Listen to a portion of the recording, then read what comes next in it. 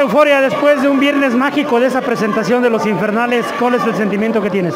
Pues nomás reafirmar, reafirmar lo que hicimos ayer, la encomienda que nos dejó el satánico, de donde nos presentemos, utilizar el modo infernal.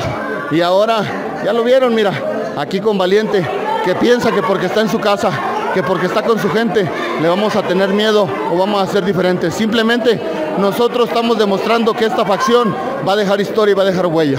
Los tiempos de Dios son perfectos, este, dejaste, los, dejaste los guerreros laguneros, pero llegan en este momento justo los infernales que podrían hacerle frente. Siempre, toda la vida en mi carrera, los, los tiempos de Dios han sido justos, los tiempos de Dios han sido perfectos.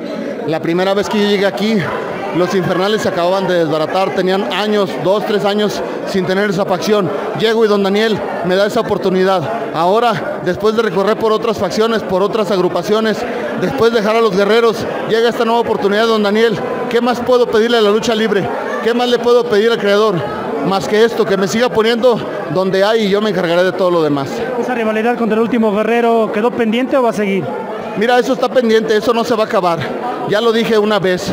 Esto para mí es una traición y las traiciones no se pagan con disculpas, no se acaban con disculpas, se acaban dándonos en la torre aquí arriba del ring.